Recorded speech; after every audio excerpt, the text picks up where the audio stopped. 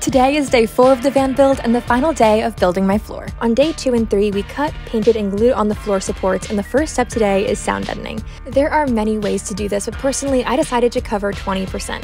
And all you have to do is roll it on until it looks something like this. So now that we've taken the van from this to this, we're ready to move on to insulation. I'm using Havelock wool and it took about a third of a box to fill the entire floor. For the entire project, I spent almost $800 and while I still have a lot of leftover supplies, this project has reminded me just how much time and money goes into a van build. And moving on to the last step I have for the day, laying down the floorboards. So then all I have left is to screw in the floor and then eventually I'll add vinyl flooring, but not until the build is further along so it stays clean and undamaged. And that's it, that's how I made a floor. Follow to see the rest of the build.